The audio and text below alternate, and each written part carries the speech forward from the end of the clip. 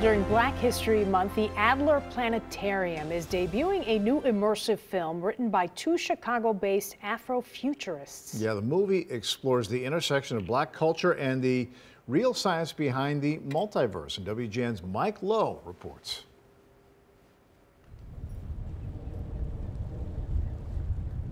At the Adler Planetarium, the dome comes all the way down to the floor. So when you're seated, the visuals come down below your line of sight. Theater director Mike Smale We've got lighting controls. is about to debut the Adler's first original film since 2019 in the immersive Grainger Sky Theater. So we're looking out into space and it feels like we're on the bridge of the Starship Enterprise here. This is where we control the ship. Here we have control, we have a, a, preview of the, the larger image that's visible on the immersive dome screen over everybody's head. We can leave the Earth, we can fly to Mars, we can you know, view those volcanoes on, on Mars up close, we can leave our solar system.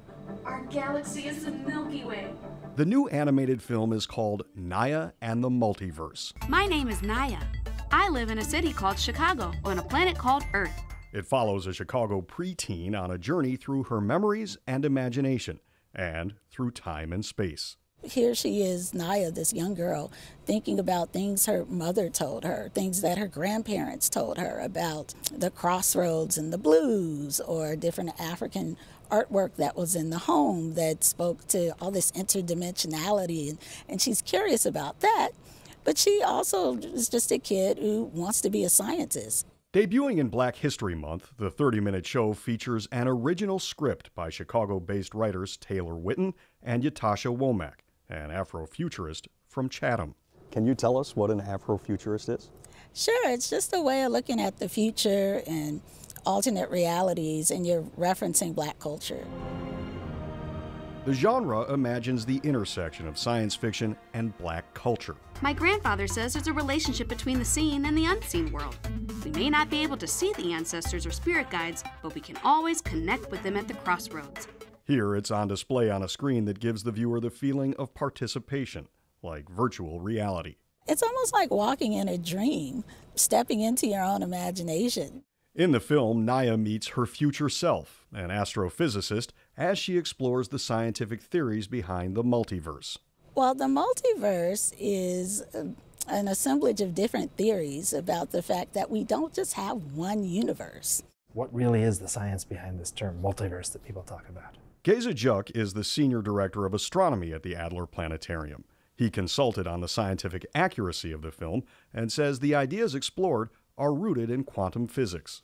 That when something can happen in multiple ways, it really does happen in all those different ways simultaneously.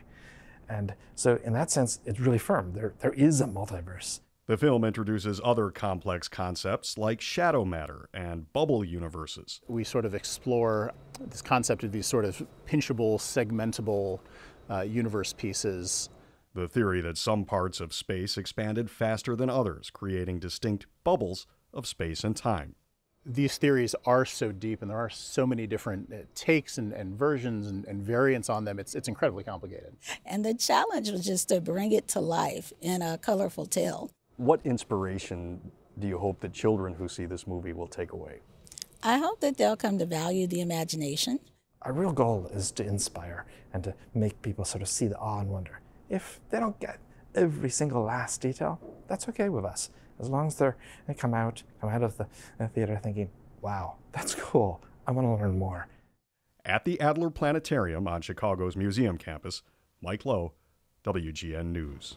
I have right. so much more to learn. Uh, you're going to get uh, educated as well as entertained and inspired. I'm so clearly. glad it's Mike Lowe telling that story. You yeah. did a good job. Well, the film opens at the Adler on Saturday. It will be shown at various times during the planetarium's open hours. For information on showtimes and how to get tickets, you can go to WGNTV.com.